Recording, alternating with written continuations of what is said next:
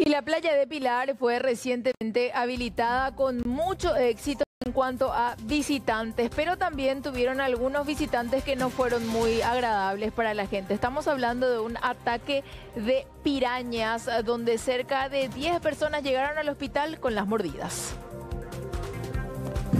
Estamos viendo civismo eh, las personas que están practicando ya se están retirando pacíficamente de la playa.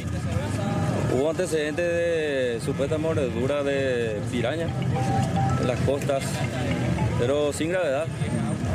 Y acá estamos, la Policía Nacional siempre está apoyando.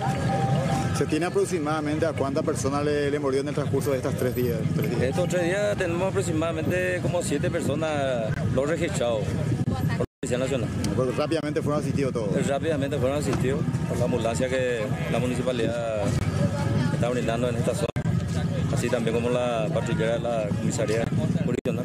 ¿Hasta las 20 horas? ¿Eso es de lunes a lunes o cómo es? Eh, sería de lunes a lunes, de 10 de la mañana hasta las 20 horas, eh, según emitió la ordenanza por la municipalidad de Pilar.